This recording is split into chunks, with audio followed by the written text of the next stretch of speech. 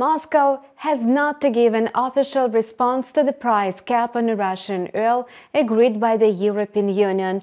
Many market participants believe that Russia will do nothing, and this means that nothing threatens oil supplies. Against this background, oil prices went down, hitting for $80 per barrel as expected. However, Russia's government never makes hasty decisions, especially on such an important issue. As uh, the Russian uh, proverb uh, says, Russian is slow to saddle up but uh, fast to ride. Given that the latest countermeasures taken by the Kremlin have triggered a storm of um, outrage in the West, one should not jump to conclusions. Retaliatory measures will most likely be announced at the end of the week. In doing so, uh, there is a likelihood of severe cuts in oil production, which will lead to a surge in prices. In addition, the market is taking into account an easing of the coronavirus curbs in China. In other words, the current downtrend in oil prices is expected to be short-lived. According to the trading chart, Brent crude oil futures kicked off the new trading week with heavy losses. The benchmark lost more than 6%. As a result, short interest uh, almost fully recovered after the asset's a recent correction. Notably, Brent crude will continue its downward move only after the price fixes below the control level of $80.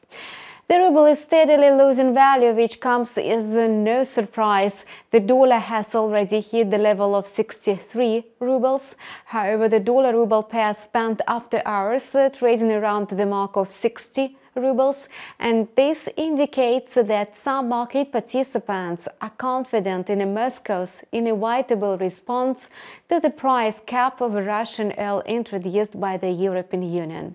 As soon as Russia announces its uh, retaliatory measures, the ruble will immediately return to its previous levels. Until then, there is a likelihood that the US dollar will edge up to the mark of 65 rubles or even higher. Meanwhile, gold made an attempt to rise above $1,800 per ounce, but then came under pressure from a stronger dollar and bounced off it. This once again confirms uh, the inverse correlation between the US dollar and gold. As a result, the asset lost about 1.6% on Monday. If downside momentum remains intact, gold may dip to the support level of 1,700 $140. At the moment, gold is trying to stabilize around $1,775 per ounce. Given that uh, today's macroeconomic calendar is bereft of any important releases, it's unlikely to succeed. Nevertheless, data on the US producer prices in the United States to be published at the end of the week may support the yellow metal thus pushing it to the level of $1,800 per ounce.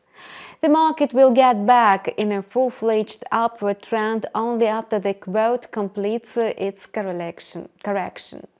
To resume a bullish run, the quote needs to consolidate above the $1,810 mark. And that's all for now. We wish you profitable deals. See now channel with a new video in a couple of hours.